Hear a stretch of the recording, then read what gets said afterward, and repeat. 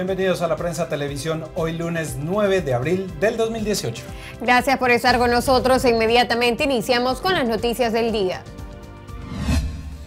Iniciamos nuestra información señalándoles que un guardia de seguridad identificado como Eric Ayala, de 32 años de edad, murió luego de un asalto perpetrado en la colonia Bellos Horizontes de Choloma Cortés, en la zona norte de Honduras. Cuatro personas que se conducían en un vehículo color rojo ataron de manos a una familia en una residencial, robaron sus pertenencias de valor en la casa y después, cuando fueron detenidos, huyeron por la entrada principal en donde había eh, una posta al mando de uno de los guardias privados. Guardia corrió por su vida al momento de que los delincuentes trataron de atacarlo, pero fue alcanzado por las balas como lo muestra un video en el lugar. El guardia falleció lamentablemente.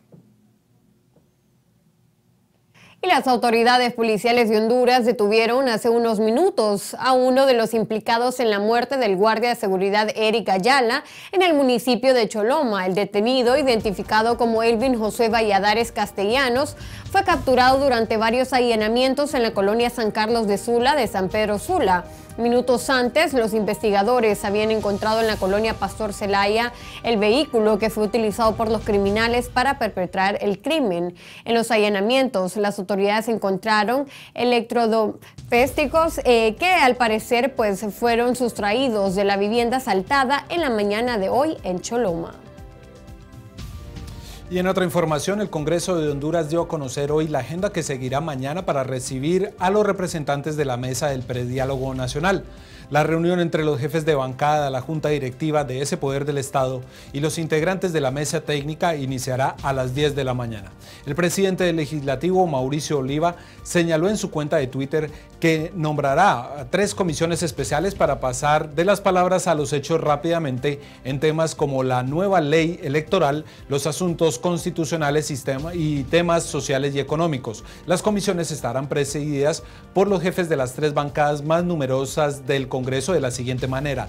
Jorge Cálix del Partido Libertad y Refundación estará en la Comisión de Asuntos Constitucionales y Consultas. Elvin Santos del Partido Liberal estará en la mesa de nueva ley electoral. Mientras tanto, eh, por el Partido Nacional, Mario Pérez estará en la mesa de Asuntos Sociales y Económicos. Y en referencia al diálogo, el expresidenciable Salvador Narrala mantiene su participación en la mesa y señaló que espera que el Parlamento apruebe un proyecto de ley para que el diálogo sea vinculante y que la reunión de mañana será decisiva. Por su parte, el líder del Partido Libertad y Refundación, Manuel Zelaya Rosales, mantuvo su posición de no participar y criticó nuevamente a Narrala y al ex candidato del Partido Liberal, Luis Zelaya, por estar en un mecanismo que, según él, no va a resolver el problema del fraude. Y en otra información, los transportistas de carga realizaron hoy varias protestas en la carretera CA5 contra el incremento a la tarifa del peaje por parte de la empresa concesionaria vial que entró en vigencia desde el pasado lunes. Los motoristas señalan que con el aumento se están incurriendo en pérdidas y no descartan otras acciones si no se les soluciona la situación. Estos son los detalles. El motivo de la protesta es por el incremento al peaje, ¿verdad? Y mucha problemática que tiene el transporte unitario a nivel nacional y internacionalmente. Pero estamos haciendo énfasis en la revisión de los fletes, ¿verdad? Que el gobierno tenga un representante o él mismo eh, revise los fletes, la tabla de precios, que al transportista que acarrea la mercadería varia, nacional e internacionalmente, no se le está pagando lo que corresponde del flete. Hay mucho intermediario y se queda con gran parte de un porcentaje. El problema está en que lo que percibe el transportista, como hay mucha intermediación en el cobro de los fletes, se, se percibe una cantidad reducida y la canasta básica de, todos los insumos del transportista, o sea, llantas, lubricantes y todo eso, ya de por sí está alto. Pero lo que nos ha terminado de, como dicen, de dañar es esos peajes. Porque unidades de cinco ejes, solo en eso hay que pagar 1.236 lempiras hasta San Pedro, ida y vuelta. Y en otras noticias les informamos que la Corte Suprema de Justicia recibió el decreto de reformas a la ley de privación de dominio de bienes de origen ilícito aprobado por el Congreso y que fue vetado por el presidente Juan Orlando Hernández. El documento será conocido por la Comisión Interinstitucional de Justicia Penal, que la comanda el presidente de la Corte Suprema, Rolando Argueta Pérez. En los próximos días, sus integrantes deberán dar sus conclusiones sobre si se aplica o no la reforma. La Sala de la Constitucional también se pronunciará al respecto.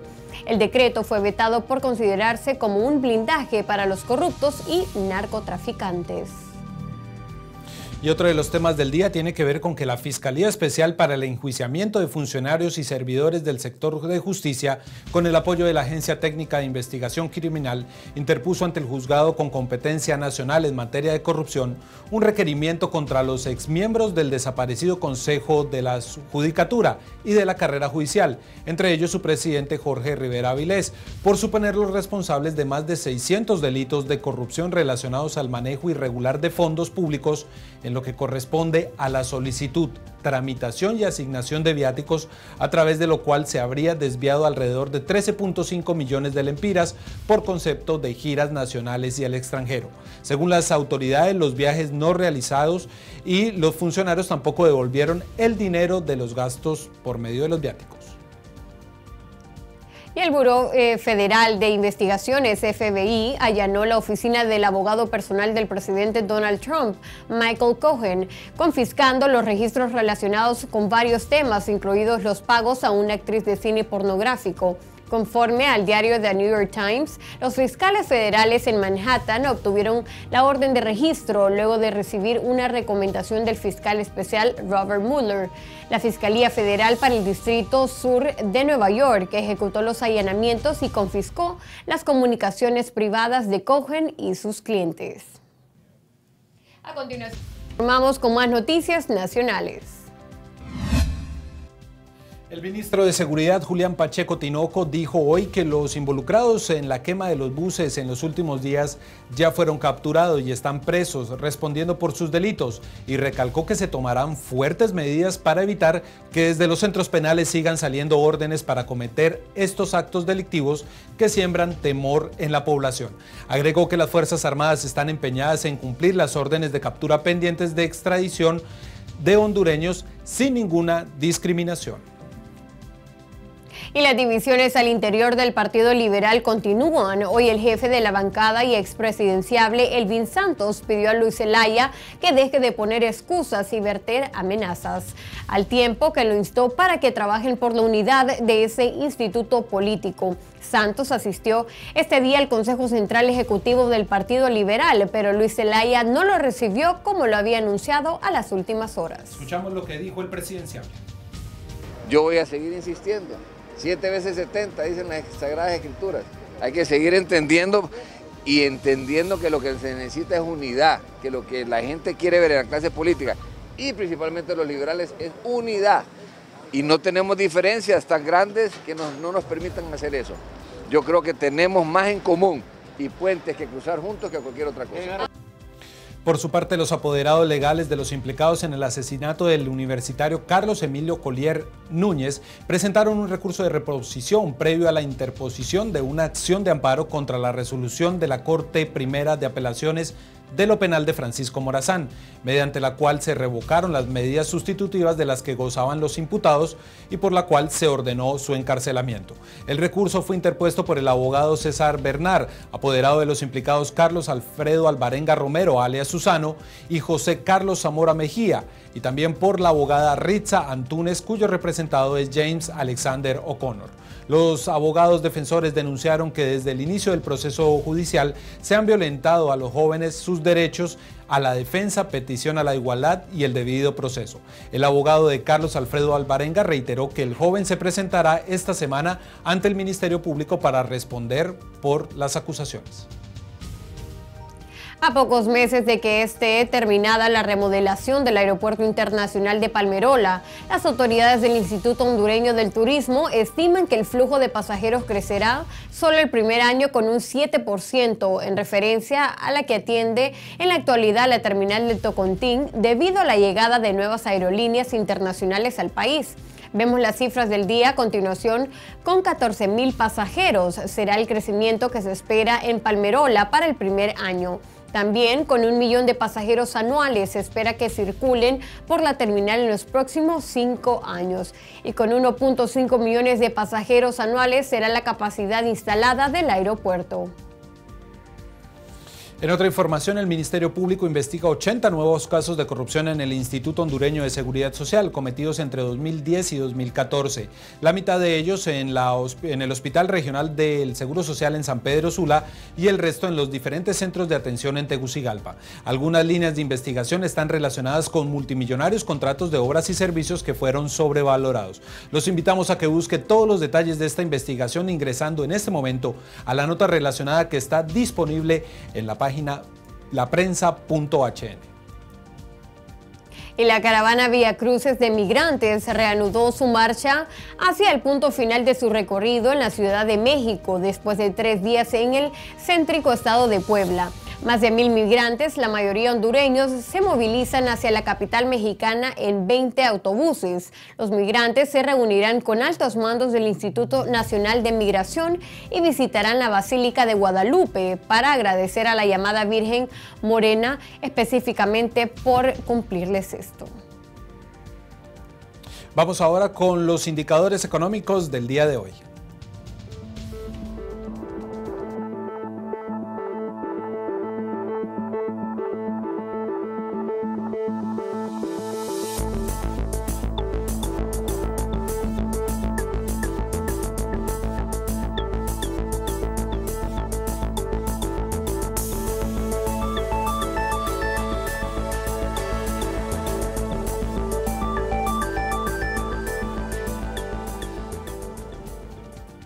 Y es momento de pasar a nuestra primera pausa comercial. Ya regresamos con más noticias en la prensa televisión. No nos cambie.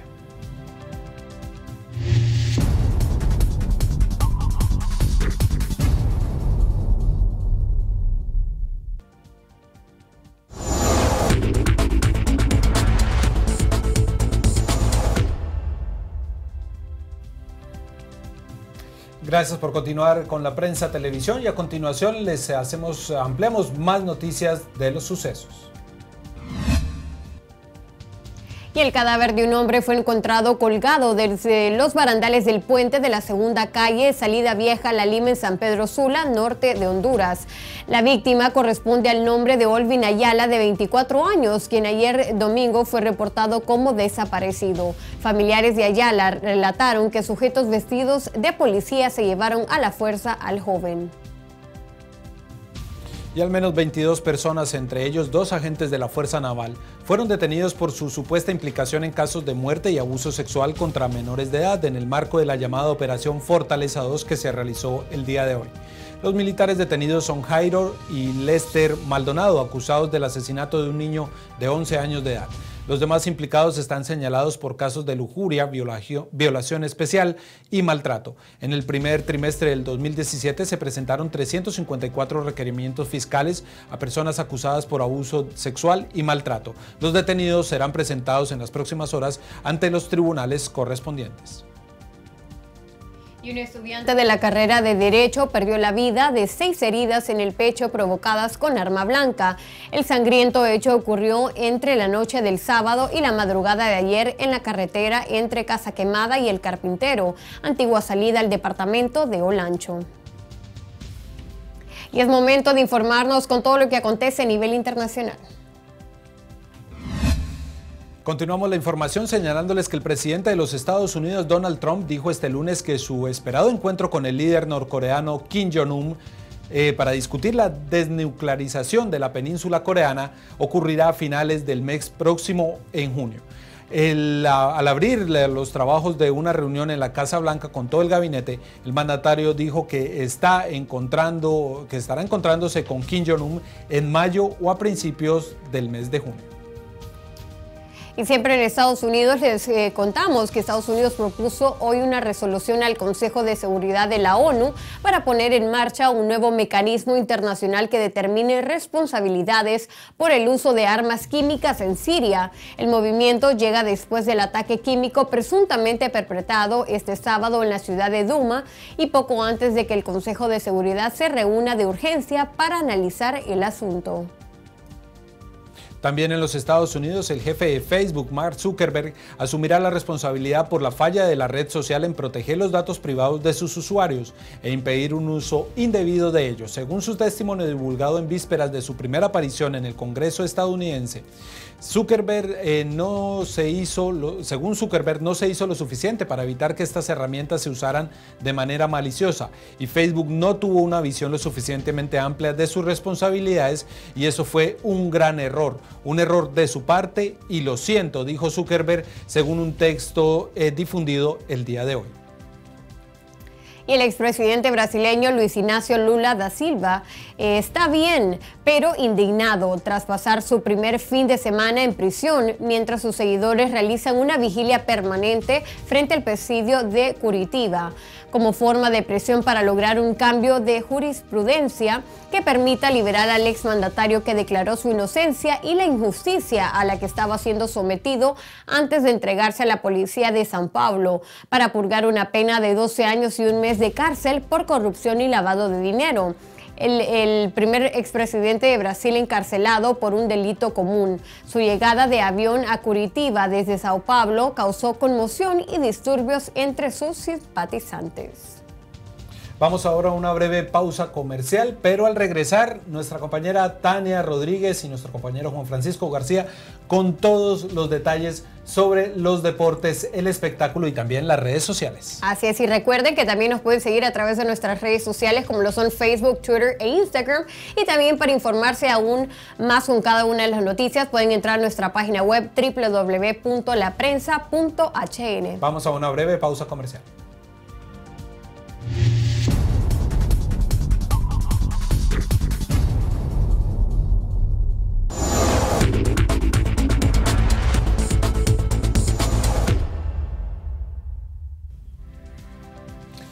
Gracias por continuar con la prensa televisión y ahora inmediatamente nos vamos con nuestra compañera Tania Rodríguez y lo mejor del mundo de los deportes.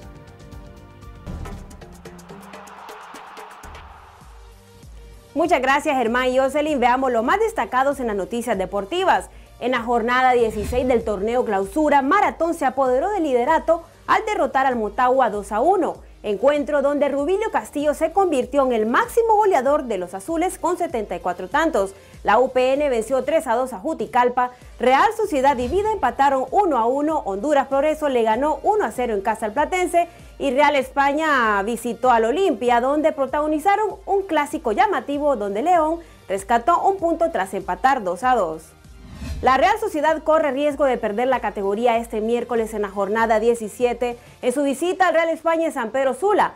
Esto tras su empate 1 a 1 ante Vida, donde los aceiteros no aprovecharon su ventaja de local y cayeron al último lugar de la tabla de descenso con 35 puntos. Y el hondureño Brian Beckler del Necaxa le anotó al histórico América y le dio el empate 1 a 1 a su equipo en la jornada 14 de la Liga MX. Por otra parte, el delantero catracho Jerry Benson del Deportivo Saprissa de Costa Rica anotó un doblete con su equipo donde derrotaron 3 a 2 al Pérez Celedón en la jornada 20 del torneo Clausura 2018 del fútbol costarricense. Y mañana son los partidos de vuelta de los cuartos de final de la Champions League. La Roma recibe al Barcelona en el Estadio Olímpico y Manchester City enfrentará a Liverpool en la ciudad Manchester. Ambos encuentros juegan a las 12.45 del día. Los partidos de vuelta de la Liga de Campeones de CONCACAF se jugarán mañana. New York y las Chivas de Guadalajara se verán las caras en el estadio Red Bull Arena y el América frente al Toronto en el Estadio Azteca. Y a solo dos meses del Mundial de Rusia 2018, la Federación Japonesa de Fútbol destituyó al seleccionador nacional y lo reemplazó por el japonés Akira Nishino, anunció este lunes el presidente del organismo. Con esta noticia pasamos con nuestro compañero Juan Francisco y las tendencias en redes sociales.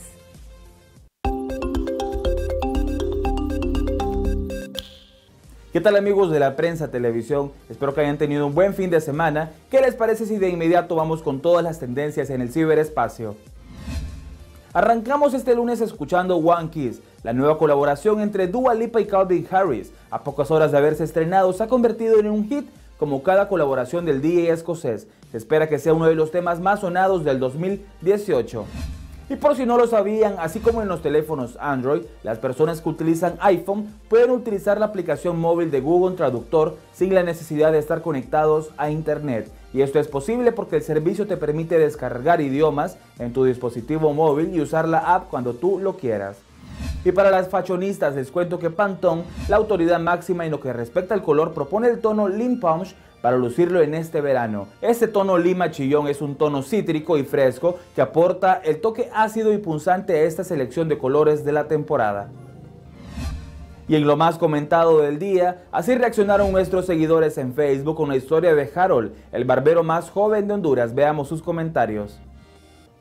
María Teresa Orellana nos comenta, excelente lección de vida, bravo por el niño y por los muchos niños que al igual que él están aprendiendo o saben el oficio. Honduras es bella. También tenemos el comentario de Bessie Santos, quien dice, qué admirable la madre, enseñar y educar y dejar una fuente de trabajo para sus hijos.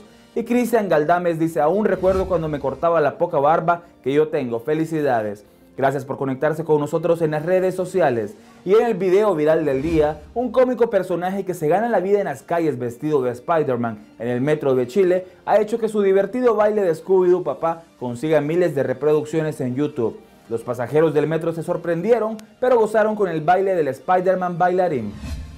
Y ahora regresamos con nuestra compañera Tania Rodríguez, quien tiene lo mejor del mundo del espectáculo.